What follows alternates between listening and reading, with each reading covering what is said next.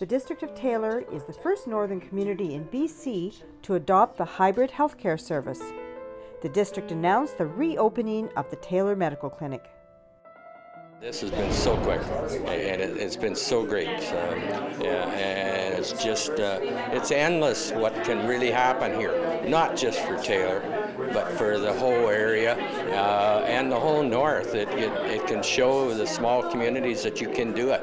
I don't even think it's been six, seven, six, seven weeks, maybe uh, less than two months, and, and um, you know they were looking for obviously a solution to their their physician shortage. Um, myself and Dr. Godley, Mark Godley uh, of Live Care, we came and did a presentation for them, showed them the technology, showed them how patients would be taken care of. Live Care would like to be a part of the solution uh, with the entire healthcare delivery model.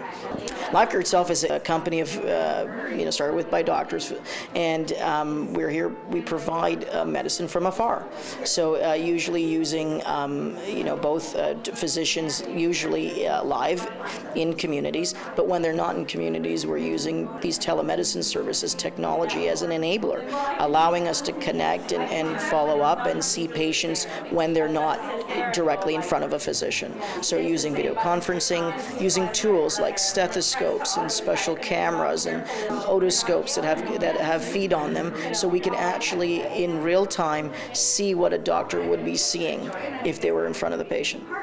Uh, with the changes in immigration laws and immigration practice for physicians, um, physicians from other countries can no longer come to Canada that easily. For Taylor, we have chosen to use a registered nurse model. So we have a registered nurse who is an emergency room nurse with triage uh, certification that actually can treat people and treat patients and triage them and facilitate an interview and a consultation uh, with a remote physician.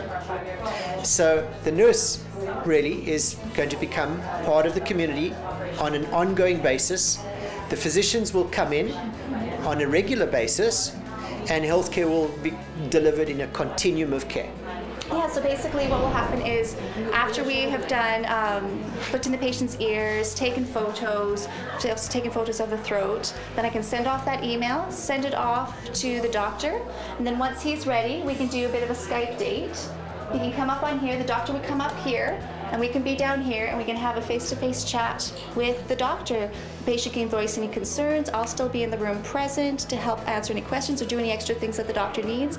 We can also, um, with a live feed, I can still look in a patient's ears or a throat if you wanted a second picture of that and go from there. And then once he's all done, um, if the patient needs a new prescription, he can do that online. He can email it back to me. I can print it off, give it to the patient. They can take it to the pharmacy. It's as if a doctor was here in person. They'll be seeing me and seeing the online docs. And we've got doctors in San Francisco and in Vancouver. Yeah, it's pretty cool. For one week a month, there will be a doctor present. Like, for example, this week we've got Dr. Bayek, who is seeing patients all this week. I'm one of the so-called new term of orphaned patients, so it means that I can get a family doctor again. We believe that we can probably see up to 20, 25 patients a day using this technology in combination with our healthcare team.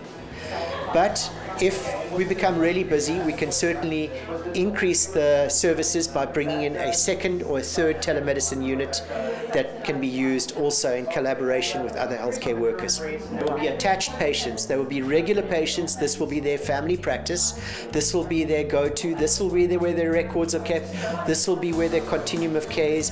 This is to work as a, a relationship builder for the, the, the, the, city of Taylor. So what you have here is a high-end uh, web camera with very, very good optics. That camera is hooked to medical grade video connection. Here we have a general exam camera this is the bread and butter of telemedicine. This camera allows you to send very high resolution images in real time across the internet in a very secure way to a doctor on the other side. So this is a very, very important device, the general exam camera. From dermatology all the way to um, uh, examining the, the general state of the patient and the condition of the patient.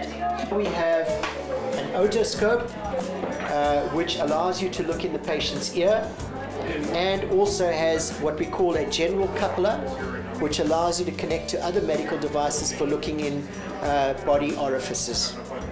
And that's basically your bread and butter telemedicine unit.